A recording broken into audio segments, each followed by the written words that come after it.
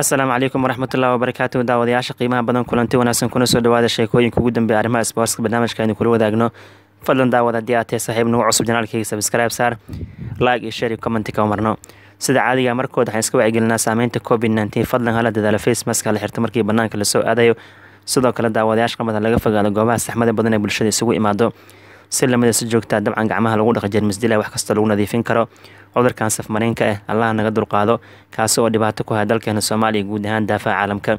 Daawadayaasha qiimaha badan waxaa markood macluumaadka oo idinkala wadaagaynaa kulanka xiisaha badan dabcan caawa garoonka old trafford ku dhex mari doona kooxaha man united iyo sidoo kale ac milan. Kulankan soo geli doona sideed iyo konton shan fiidnimo xilliga geeska afrika. Waxyaabaha kulankan loo daawan doono waxaa qeybkeeda daawadayaasha qiimaha badan waxay u noqonaysaa markii koo iyo tobanaad iska hor imaan doonaa manchester united ac milan. Dhammaan tartamada kala duwan ee yurub labadan kooxood toban kulan hore u ciyaareen daawadayaasha qiimaha badan naadi walba waxay guuleysatay shan kulan sida haatan diiwaan gashan sidoo kale waxyaabaha kale soo qaadan karna waxaa qeybkee labadan kooxood. Markiis ugu dambeysa ka hor imaadeen waxay ahayd marsel laba kun iyo toban. Ciyaartaasna waxaa afar gool ibar ku badis kooxda man united. Sidoo kaletana david beckham oo caan ku ahaa naadiga manchester united wuxuu la jiray kooxda ac milan asigoo kulankan bedel ku soo galay. Sidoo kaletana ciyaartaas waxay ahayd guuldaradii ugu cusneed ee kooxda milan ku dhacday tartamada yurub. Dhinaca kale daawadayaasha qanbada kooxda manchester united ma jeclo inay la ciyaaraan dhigooda ac milan tartamada yurub gaar ahaan kulimada bogbaxda eh shan jeer la ciyaareen afar jeer oo kamida man united ayaa la reebay. Dhinaca kale daawadayaasha qanbada kooxda ac milan waxaa u diiwaan gashan todobadii jeer ugu dambeysay tartamada kala duwan ee yurub oo ay soo gaareen wareegii lix tobanaad lix jeer oo kamida kooxdan waa la reebay halka dabcan markii la fiiriy intii u kun sagaal boqol sagaashan sideedii ilaa dabcan laba kun iyo todobadii waa sagaal sano isku xigta kooxda milan marnabo ma aysan dhicin marxalada wareegii lix tobanaad inay ku haraan koobka horyaalada yurub. Daawadayaasha qiimaha badan markii ugu dambeysay milan oo ay dabcan ka gudbeen marxalada loo yaqaan wareegga lix tobanaad dhammaan tartamada kala duwan ee yurub waxay dabcan markaas reebeen kooxda arsenal tartanka uweba champions league xilli caraadkii haddaba daawadayaasha qiima badan kulankan waxaa lagu saadaaliyey kooxda man united inay laba gool ibar kaga badin doonto dhigooda ac milan maadaama milan ay qabaan duruufo kala duwan oo ku aadan ciyaartooy muhiime oo kulankan dhaawac kaga maqnaan doonaan. Idinkan aragtidiina ka dhiibta maadaama ciyaartan aad iyo aad u xiiso badan tahay. Dhinaca kale daawadayaasha qiimaha badan ciwaanada kale kubadda cagta soo qaadan karna waxaa sameynayo legendigii kubadda cagta dhanka weerarka looga dambeeya louis nazario dalima ronaldo oo waqti fiican ku soo qaatay xulka brazil. Ronaldo ciwaanka uu sameynayo maana haatan kubadda cagta inuu ciyaar waa gudoomiyaha kooxda real valodrid maadaama uu iska leehay naadiga real valodrid balse ronaldo iyo qoyskiisa waxay haatan shaaca ka qaadeen markii shanaad ninkan inuu aaba noqon doono. Tani ciwaan waxay u sameynaysaa daawadayaasha qiimaha badan. Louis nazario dalima ronaldo sanadii laba kun iyo toban ayuu shaac ka qaaday. Ninka inuu isdhufaaneeyey ama dabcan uu iska dhigay madhaliis hadda kadibna aysan u suurtageli doonin inuu dabcan aaba noqdo. Balse daawadayaasha qiimaha badan koo iyo toban sano kadib ronaldo iyo xaaskiisa lagu magacaa lokis waxay haatan rajeynayaan in noloshooda ubad uu ku soo biiro. Sidee midaas ku dhacday louis nazario dalima ronaldo wuxuu leeyahay sanadii laba kun iyo toban markii aan dabcan isdhufaaninay ama aan iska dhigay qof madhaliis ah waxaan sameeyey ayuu ka dhawaajiyey. Ugxaan badan oo shahwadeeda ayaan dabcan waxaan gashtay ka dhawaajiyey farinjeerka sidaa darteed wuxuu yihi ronaldo asigoo kaftamayay waxaa ii taalo ka dhawaajiyay ugxaan badan oo shahwo ah oo aan ku awoodo. Hal koox inaan ku samaysto. Marka duqa daawadayaashkan badan waxaa loo keediyay shahwadiisa oo farinjeer ugu jirto. Sidaa darteed marka haatan waxaa la sheegay in nidaamka bacriminta uur ku qaaday ronaldo saaxiibtiis gabadha lagu magacaabo salina locas daawadayaasha qiimo badan ronaldo markii la fiiriyo noloshiisa gaarka waxaa hareeya marano kala duwan. Haatana dabcan wuxuu aabo u yahay si ofishaal afar carruur ah caruurtaas waxaa ka mid a wiil lagu magacaabo ronaldo ee u dhashay gabadhii ciyaartooyda caankeed venana dominquez laba gabdhood u dhashay gabadhii caankeed lagu magacaabo maria betris oo in muddaa saaxiibaan labadaas gabdhood waxaa lagu kala magacaabo maria sofia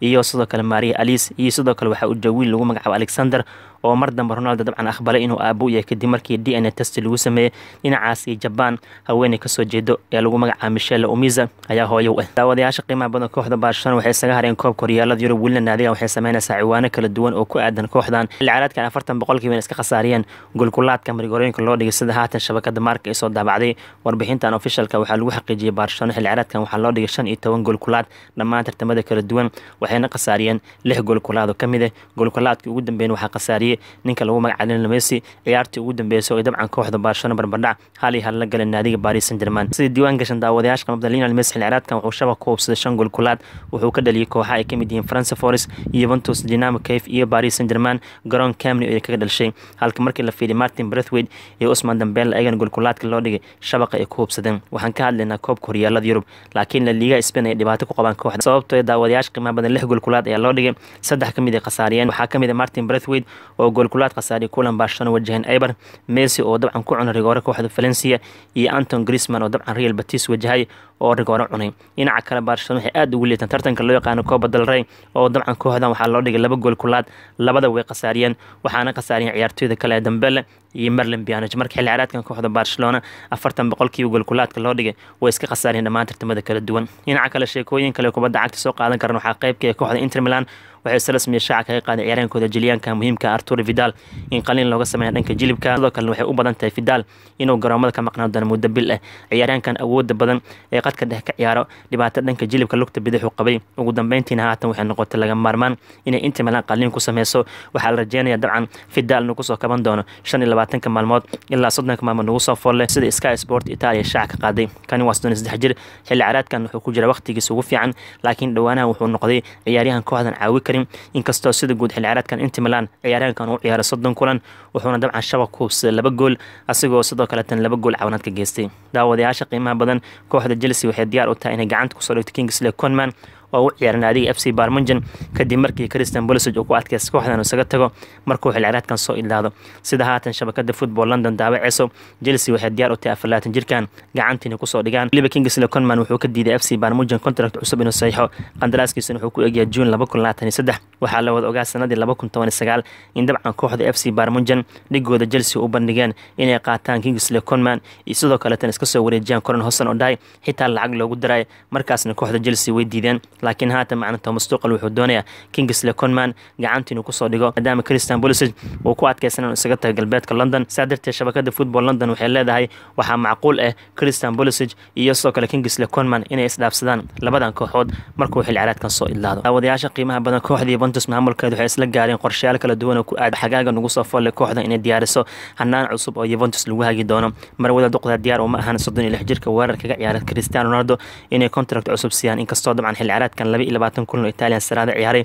Labaatan gool dabcan shabaq u gaarsiiyey. Haddana yuva culeysku ugu weyn qabaan waxay tahay ujeedkii loo keenay c r wuu ka soo bixi waayey oo ninkan saddex sano sii maraya kooxda uu joogo saddexda sana uefa champions league gacanta laguma dhigin. Saa darteed yuva ay ku adagtay sanad kasta inay bixiyaan soddon milyan oo yura lagaseda sportiva haatan waxay daabacaysaa ronaldo ciyaartooy fara badan xitaa ku jira paulo diabala. In yuventus ay iska iibin doonaan xagaaga nagu soo folle. Sidoo kaleetana dabcan marwada duqda mustaqbalkeeda waxaa lagu dhisi doonaa ciyaartooyda ka mid yihiin fadrika kiesa matthews delight arthur iyo xidigo kaleeto. Kuwaas oo loo arka kooxda yuventus inay sanado badan u sii ciyaari karaan. Marka daawadayaasha qan badan lagaseda sportiv waxay leeyihiin ciyaartooy fara badan ayuuva laga diri doonaa. Balse tuti sportiv waxay leedahay ronaldo waxay u badan tahay hal xilli ciyaareed kale inuu sii joogi doono kooxda yuva oo dabcan ninkan isaga tegi doono labo marka uu dabcan qandaraaskiisa soo idlaaya taas oo ka dhiga marka xilli ciyaareedka dambane c r marwada duqda u sii ciyaari doonaa oo dabcan culeys ay ku tahay kooxda yuventus maadaama aysan heli karin koox ka iibsato xagaaga nagu soo folle dhinaca kale daawadayaasha qiimaha badan sheekooyin kale soo qaadan karan waxaa qaybka murushi saari waxaa lagu wadaa xagaaga nagu soo folle inuu la wareego hogaaminta kooxda napoli. Sidoo kaleetana ciyaaryaanka lagu magacaabo jorgino isagan wuxuu dib ugu soo laaban doonaa kooxda napoli.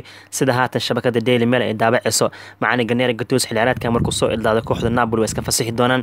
Sidoo kaleetana madaxweynaha kooxda napoli aurelio dolorantis wuxuu ka ballan qaaday murushi saari markuu imaado koonfur in dabcan jorgino dib lagu soo celin doono waxaa la wada ogyahay cilaaqaadka wanaagsan ee ka dhexeeya saari iyo jorginho. Shaqo fiican hadda kahor waxay ka wada qabteen kooxda napoli. Sidoo kale chelsea wada tageen markaan waxay diyaar u yihiin mar kale kooxda napoli dib inay ugu midoobaan. Jorginho dhawaan ayaa laga soo xigtay inuu u xiisay ama hilow gaar u qaba ku laabashada gudaha talyaaniga. Saa darteed ciyaaraankan wakiilkiisa waxay diyaar u yihiin xagaaga nugu soo foolla chelsea inay isaga tagaan oo dabcan ciyaaraanka macalinkiisa hore dib ila midoobo. Kooxda kubadda cagta napolina dabcan hogaaminteed uu la wareego maadaama murushi saare uu qabanayo. Daawadayaasha qiimaha badan guud ahaan sheekooyinkan ugu dambeeya arrimaha sports. Intaasaan ku soo elinanaa fadla fiirkeena ka dhiibta qodobadii aan soo qaadanay. Haddii aad tahay saaxiib nagu cusub janaalkayga sabskaraab saar like iyo share iyo commenti kama marno. Asalaamu calaykum waraxmatullahi wabarakatu